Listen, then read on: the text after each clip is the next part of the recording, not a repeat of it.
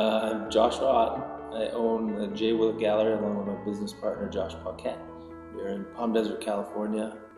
It's Thursday night. We opened in 2007, in the fall of 2007, uh, so we've been open a little over 10 years now.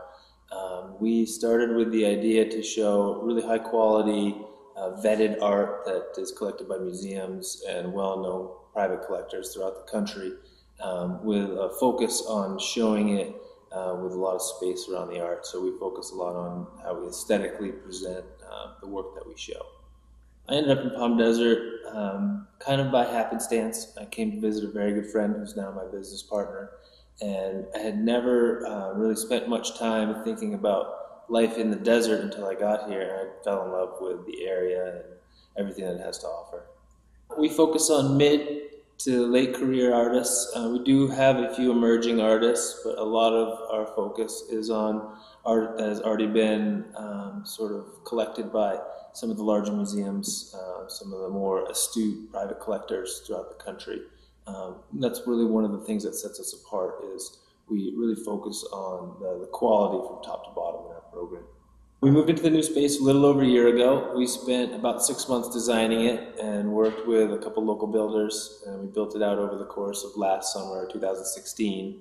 Uh, it's much larger, has 22 foot ceilings, which gives us the ability to show some larger pieces. And some of our older pieces that we've had uh, in a more grand setting.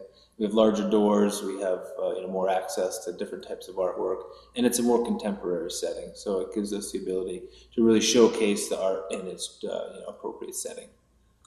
Outside of work, I love to golf, I love to hike, um, I love to eat at nice restaurants, um, I love to swim, um, and frankly, being in Southern California, we're two hours from everything. So we can literally be in the ocean or on a ski hill or up, uh, you know, up in uh, sort of uh, a high mountain lake within two hours. So it's a fantastic area for a lot of reasons. I would suggest anybody who likes sunshine and a relaxed atmosphere would enjoy living and working here. One of the unique parts about the valley is most people are here to have a good time. There's a lot of tourism, a lot of people enjoying their hard work. So it makes for a very comfortable, slow pace. We are in Southern California. We're just two hours removed from LA, but it's a completely different vibe.